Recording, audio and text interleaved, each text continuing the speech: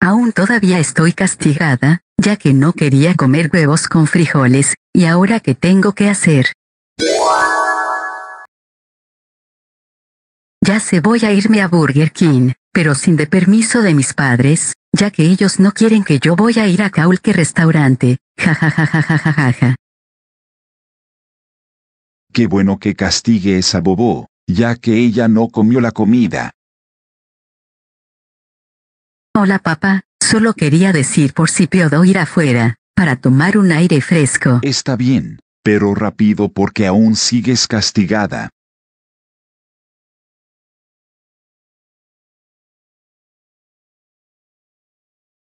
Ese pudejo. No sabe que voy a irme a Burger King.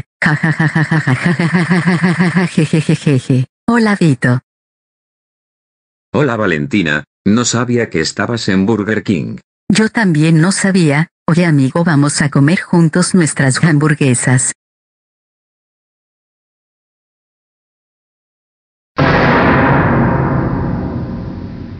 Oh, oh, oh, oh, oh. Valentina ¿cómo te atreves a ir a Burger King sin permiso? Vamos para la casa, estás en problemas. Adiós Valentina, espero que tengas un bonito día. Igualmente amigo.